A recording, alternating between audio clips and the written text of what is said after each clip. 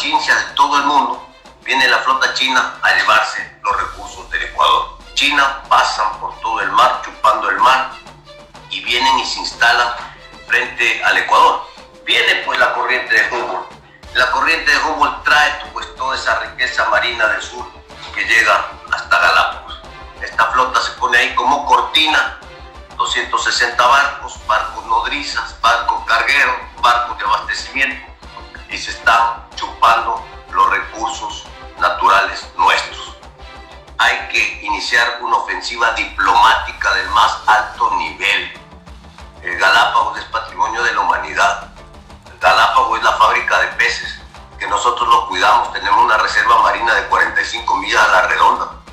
Es la segunda reserva marina más grande del mundo entonces, ¿cómo entender que a vista y paciencia de todo el mundo viene la flota china a llevarse los recursos del Ecuador? China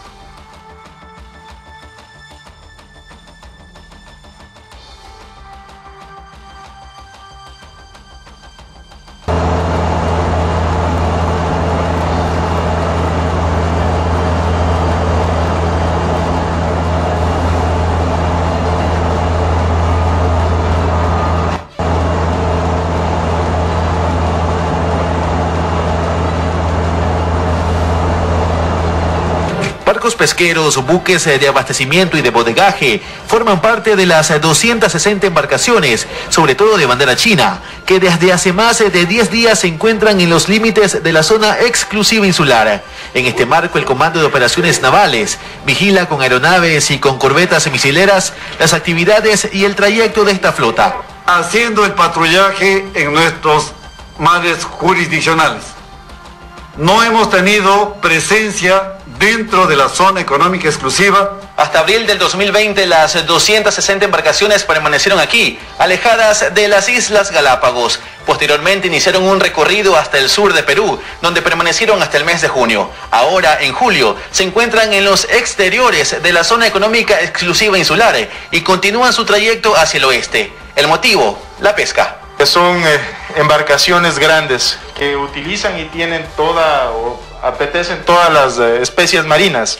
Biólogos recomiendan ampliar la zona exclusiva insular. De manera que muchas más especies sean cubiertos por la protección real de la reserva. El monitoreo es constante para evitar que las embarcaciones ingresen a las 188 millas y realicen pesca ilegal, tal como ocurrió en 2017 con el buque también chino Fuyuan Yulen 999 que ingresó a la zona exclusiva de Galápagos ilegalmente con 300 toneladas de pesca. Es una embarcación que servirá como parte de los buques de apoyo.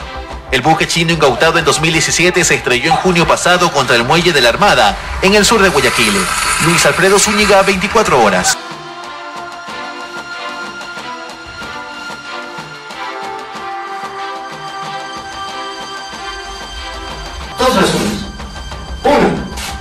Conocen el derecho del mar. Conocen la zona económica exclusiva de cada país. Porque es internacional. Es decir, si saben las fronteras como están establecidas en el mar, de acuerdo a la CONVEMAR, no van a ingresar. Y si ingresan, pasará lo que ocurrió en el 2017. Será incautado. Para eso tenemos parte de la flota naval ecuatoriana, conformada por corbetas, guardacostas, avión que realiza el patrullaje y la exploración marítima de forma permanente. ¿Por qué? Dos razones.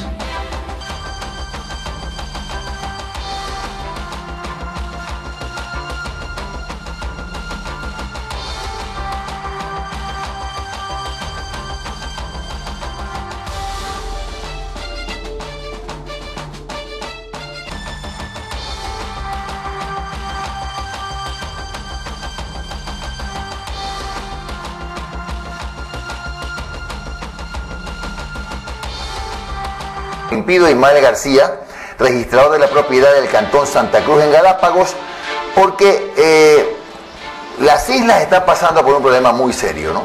El problema serio es que la economía está al límite.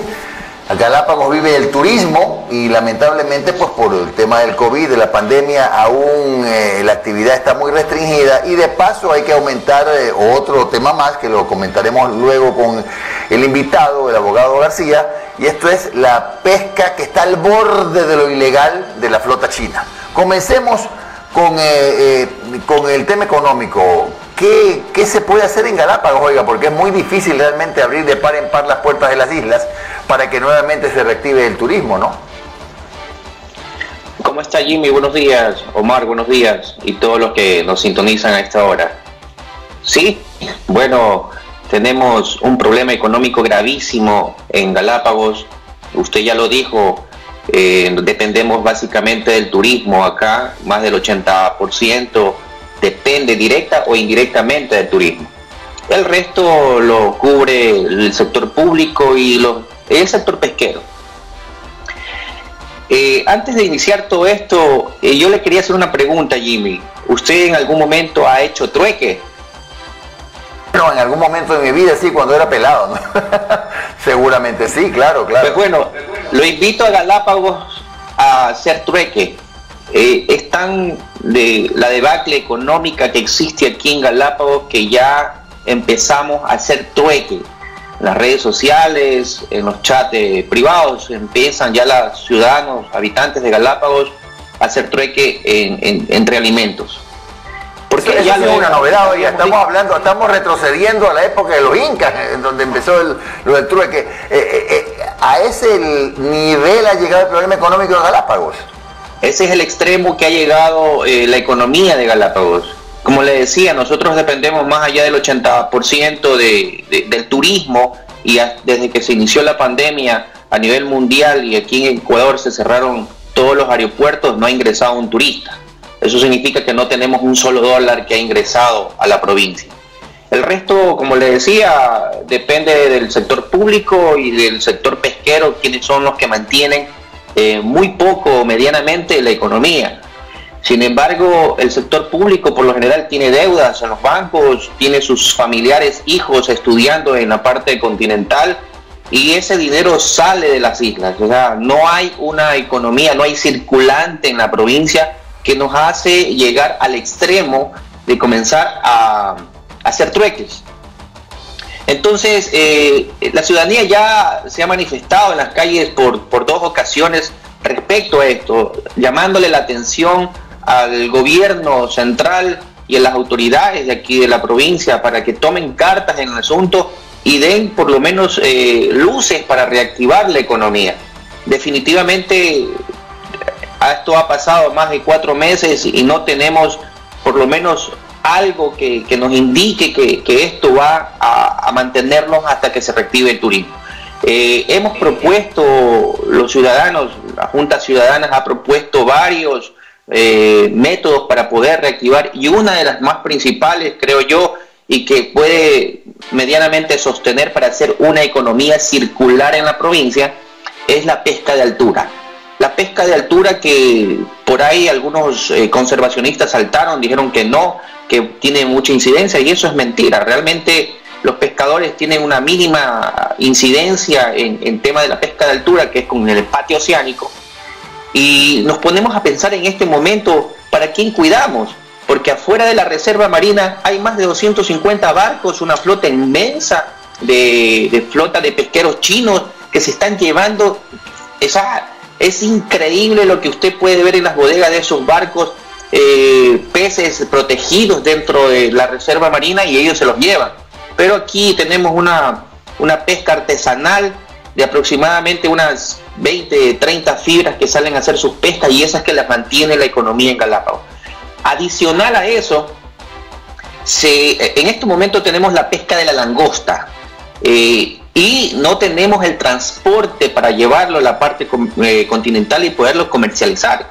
No nos garantiza el Estado, por lo menos, no nos garantiza el Estado, por lo menos que, que esa pesca salga al continente y pueda ser comercializada. Mucho tiempo en los refrigeradores, congeladores pero, abogado, abogado, pero ¿cuál es el problema para el transporte? Porque ahí con las medidas de bioseguridad no, no, no debería haber problema para movilizar la, langosta al continente. El problema que no existe una frecuencia normal eh, de aviones de, Guayaquil, Galápagos o Quito, Galápagos para poder sacar eh, esta mercadería, estos productos.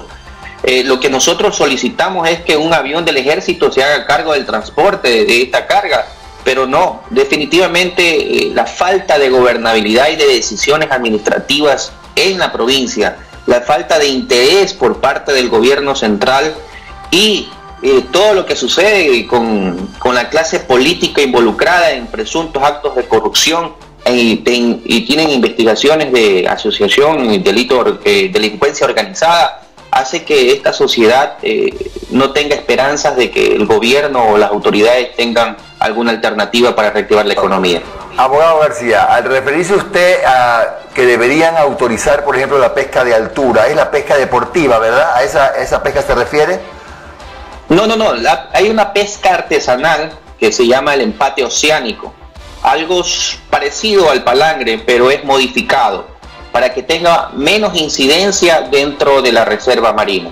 Sin embargo, no, no, no, no permiten la, la captura de estos pelágicos pero sí eh, a vista y paciencia del mundo entero, tenemos una flota inmensa que se lleva todo, todo. Tanto así, ustedes me imagino que ha de haber visto o leído en las noticias que un tiburón ballena llamado Esperanza, que estaba monitoreado por, eh, por las organizaciones de conservación, ha desaparecido.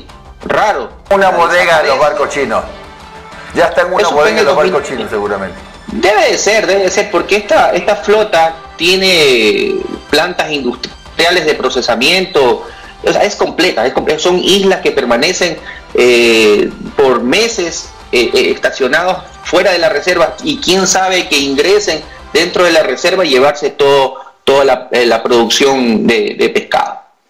García, buenos días, les saludo Omar Jaén. ¿Y qué respuesta les ha dado el gobierno a través del señor Norman Wright a esta a estos pedidos de las fuerzas vivas de Galápagos? Definitivamente ninguna. Eh, yo he visto las resoluciones del Consejo de Gobierno, que es un cuerpo colegiado donde están algunos ministros y los alcaldes de los cantones de, Galápagos, y no, no existe ninguna respuesta a lo el pedido, al clamor de la ciudadanía que, verdaderamente está ahogado en deudas, está ahogado en una economía tan pobre que, que de aquí a mañana no sabemos qué vaya a pasar, qué vaya a suceder.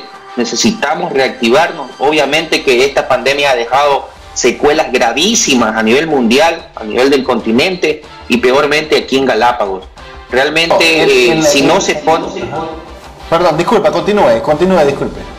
Si, si no se ponen medidas de, reactivación, nosotros no queremos que nos regalen eh, bonos ni tampoco que vengan a darnos eh, créditos de 5 o 10%. Eso no es reactivación económica, eso es endeudarse más.